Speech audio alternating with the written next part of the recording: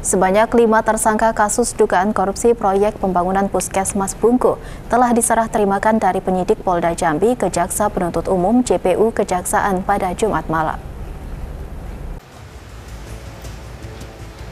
Kejaksaan Negeri Batanghari menerima berkas perkara serta lima tersangka dalam kasus pembangunan Puskesmas Bungku, Kecamatan Bajubang.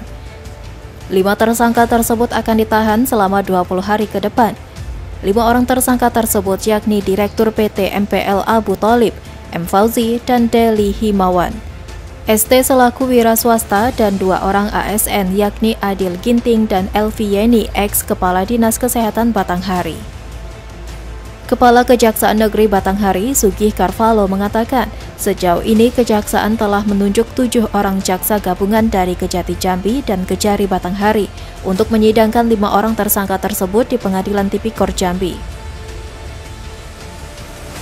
Selanjutnya, jaksa kembali melakukan penahanan selama 20 hari terhitung mulai 25 November 2022 sampai dengan 14 Desember 2022.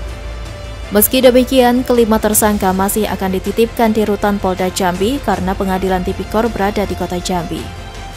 Uh, proses uh, pada hari ini penyerahan tersangka dan barang bukti yang dilaksanakan pada hari ini oleh penyidik Polda Metro eh Polda Jambi, Polda Jambi terkait dengan uh, perkara pembangunan puskesmas Bungku.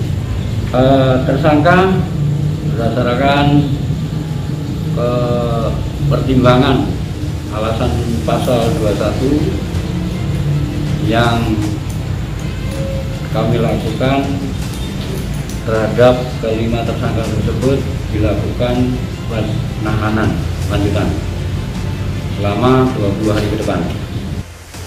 Para tersangka diduga melakukan tindak pidana korupsi, melanggar primer pasal 2 ayat 1, contoh pasal 18 Undang-Undang Nomor 31 Tahun 1999 tentang pemberantasan tindak pidana korupsi.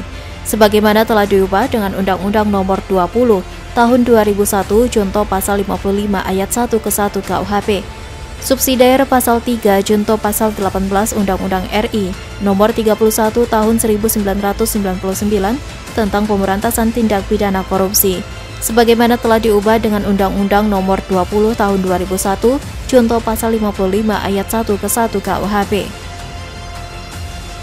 Pembangunan Puskesmas Bungku ini bersumber dari dana alokasi khusus fisik Dinas Kesehatan Kabupaten Batanghari tahun 2020 dan diduga merugikan keuangan negara mencapai 6,3 miliar rupiah.